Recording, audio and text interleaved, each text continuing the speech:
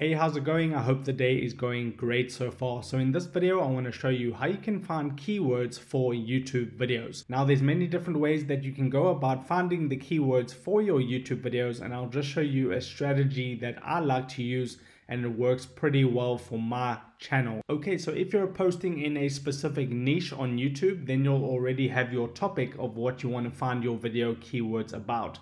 Now I'll just use the example for my channel in this video. So what I post on my channel is everything related to social media tips like how to delete your Instagram account, how to delete a TikTok draft, videos like that, very quick and basic video tutorials that will solve a specific problem for the user watching that video. So that's mainly the type of content I'm posting on my channel. Obviously your channel is going to be a little bit different and the topics that you try and find are going to be a little bit different. So what you can do is first of all, you can open up an incognito tab so that when you're searching for a specific keyword, your previous search history isn't going to influence what shows up in the search results. Okay, so I've just opened up an incognito tab on my Chrome browser because I couldn't really figure out how to do it on the Opera browser. So you can see incognito mode. So I'm going to search for something. Now, when you have a channel that's focused on finding keywords for your videos, that normally means that you have a search-based channel on YouTube. So search-based videos are normally how-to type of topics. So like how to tie a tie, how to bake a cake, how to change a flat tire on a car things like that. So I'll type how to, and I'll just show you a quick method that you can use if you want to generate some ideas. Okay, so what you can now do is you can see all these auto suggestions that do come up. Um, but what you want to do, you want to put an action word in here. So an action word is something like make or get or draw or draw once again, drive, an action word like that. So an action word could be how to add and then you see all these other auto suggestions pop up. So uh, how to add music to instagram story how to add page numbers in word from a specific page. Topics like that are good search based topics that you can upload onto your channel to get views and to earn money through the AdSense partner program and everything like that. So let's just pick a one from this list. And when you're doing this process, you kind of have to just do trial and error and click on a few of them to see which ones are going to be the best fit for your channel. If you have a small channel, then you want to go for things that aren't as competitive as the other keywords. So let me go and click on this one, how to add subtitles to a video. So this is a process that you can do in order to find keywords for your search based channel. So easily add subtitles to any video in minutes. It got 965,000 views in two years. Definitely a lot of searches for this keyword and a lot of views for the top ranking video right here. The next one has 502,000 views in two years. Okay, so you may notice that these videos are quite old. This one two years, this one two years. Let's just scroll down a little bit more. One year ago, three years ago, one month ago 84,000 views but that's actually a verified channel. So it's a big channel so they are able to rank in um, on the first page and compete with all these other videos. Now if you have a small channel then you want to maybe go for something that's a little bit less competitive. And what you can also do right now is you can like take the keyword you can copy it you can push command or control F on your keyboard and you can see how many people are actually searching for this exact phrase that I typed in here. So four results right here.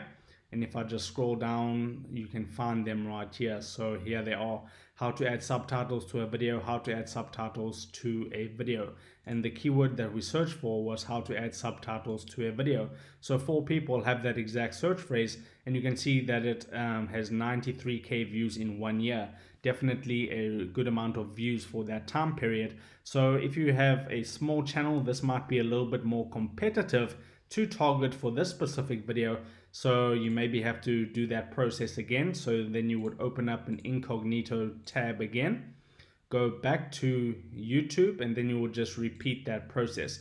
Now you may notice that this is quite time consuming and it can take quite some time to generate these ideas. Okay, so let's do it again. How to and then put for just an example draw and then you see okay that is um, short phrase keywords um, so that's going to be pretty hard to rank for meaning that there's not a lot of words in the keyword meaning that it's going to be pretty competitive. So then we could type something like um, how to draw then you can just go through the alphabet and see what comes up. So how to draw anime how to draw animes for beginners okay? Then you would click on this. Then you would just repeat this process until you find a, a good video topic that you could make so how to draw anime basic okay so this might be a little bit more difficult to make this um, so you have to just go based off your niche. But like i said this can work in any niche. Every single niche has search phrases that people are typing into the search bar and you can make those videos and you can get views on your videos. Now, like I said, this is time consuming and this is a skill that you develop over time.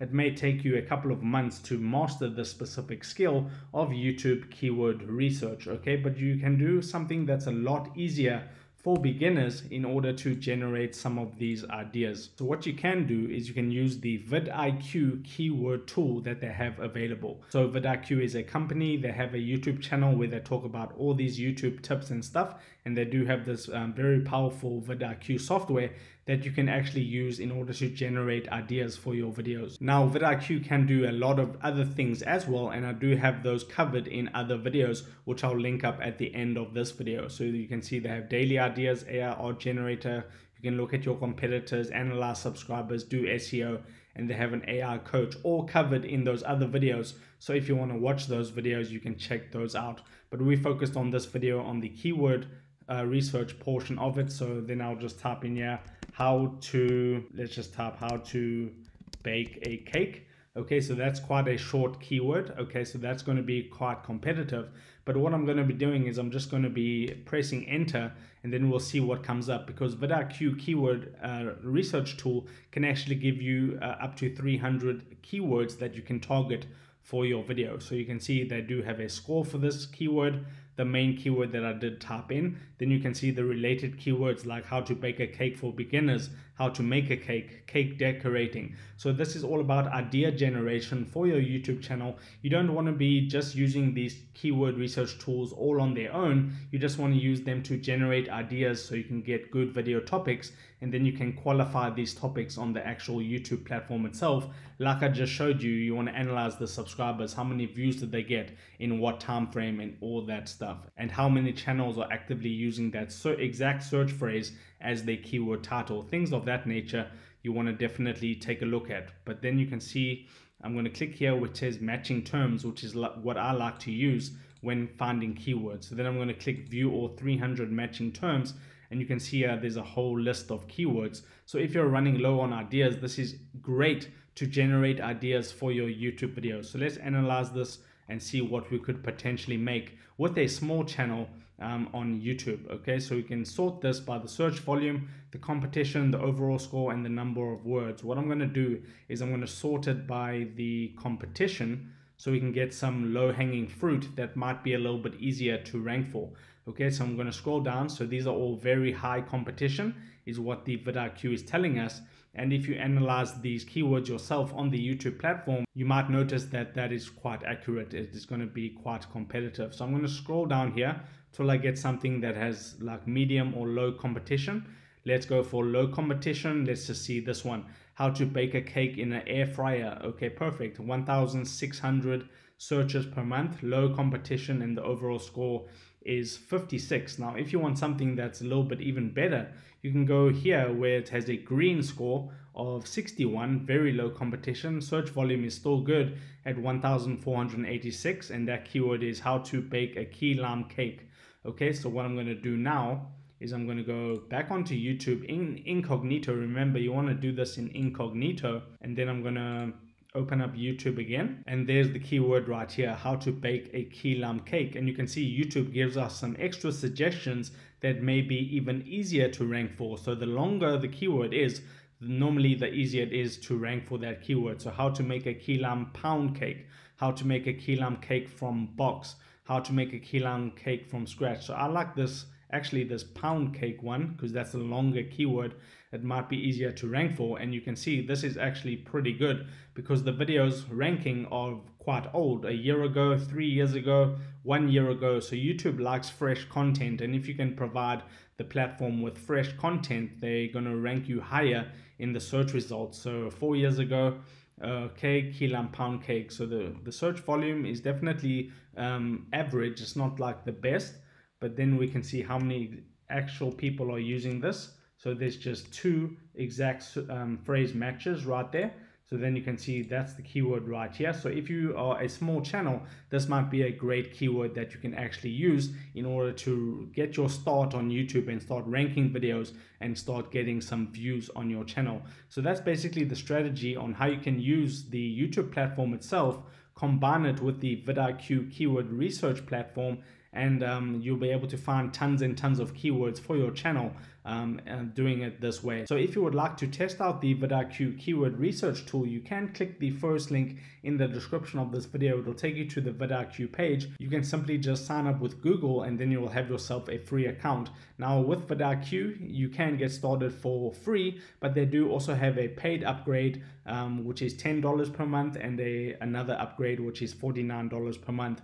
The plan that I'm using to find all these keywords, um, 300 of them right here, is actually the pro plan, which is um, $10 per month, like I just mentioned. So if you have the free plan, I think you might get like 30 or 40 different keywords that you can target but that is also a great start. And if you want to get more keywords later on down the line, you can upgrade to the pro membership. So click that first link in the description of this video if you would like to test drive vidIQ for free. And don't forget to like this video if it helped you out, and I'll see you in the next video.